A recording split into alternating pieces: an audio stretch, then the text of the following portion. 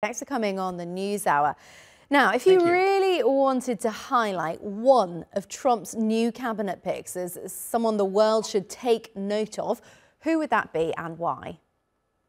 Well, I think the most uh, amazing and extraordinarily good appointment is Tulsi Gabbard. Uh, okay. Uh, Tulsi is uh, an extraordinary thinker. She's an extraordinarily accomplished woman. She is a longtime military veteran. She is, I believe, a lieutenant colonel. She is a decorated war hero. She was a decorated congresswoman. And the most important thing about Tulsi is she used to be a Democrat. Now, I think she's still a Democrat, but she's really a Republican, but she's a free thinker. And that's what defines this group. Notwithstanding what the mainstream media, the virulently anti Trump media is saying, that, oh, he's got a bunch of acolytes, he's got a bunch of his own people, which of course is what Joe Biden did and what every other president did. And I submit that was one of the problems with the first Trump presidency. He didn't get his own people, he didn't sweep all of the other people out of office, the Obama people, which everyone does. But Tulsi is a voice of extraordinary reason. She's a very fine constitutionalist. I've worked with her on numerous occasions. She is a remarkable woman, and I think the world will see how remarkable she is well, oh, she's a woman, but she's also a Hindu. And so she is someone that represents a broad range of interests, and she is just an extraordinary pick. I, I, I am so I'm overjoyed that that that President Trump has chosen Tulsi for this role. All right, great stuff. And, and overall, what do you make of this new cabinet? I mean, some people have been saying there's perhaps a lack of deep political experience or West Wing experience, if you like. But I was thinking maybe with control of both houses, that ability to navigate the system doesn't matter quite as much.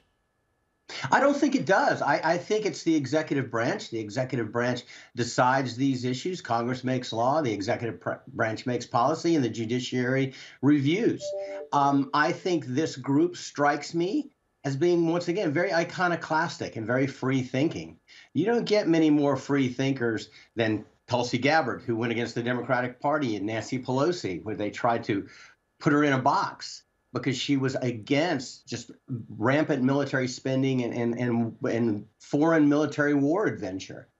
Elon Musk, if he doesn't define free thinker, I don't know who does. Vivek Ramaswamy, the same thing. I think we're seeing a lot of people that are going to bring a new view of how politics works. I don't think we need the same old West Wing people, even the same old Inner Beltway people. Of course, this terrifies the establishment.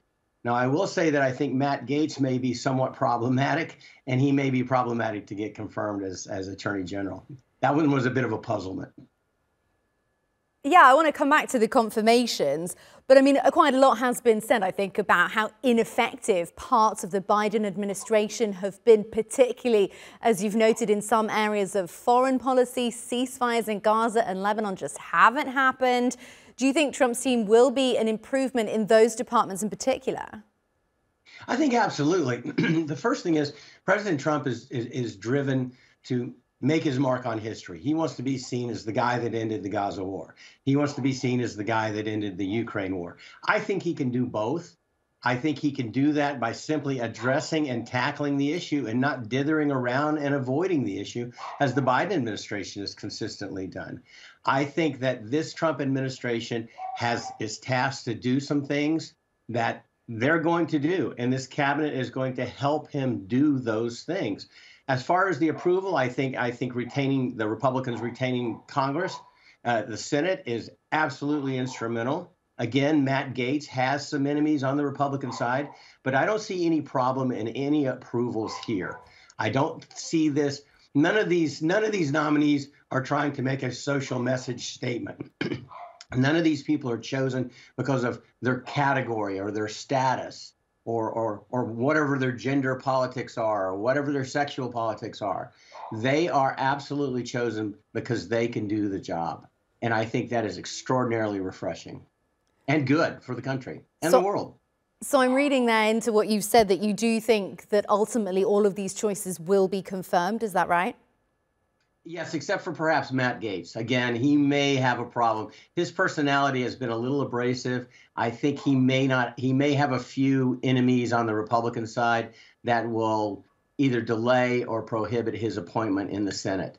But other than that, I don't see any problems. I see this going through rapidly.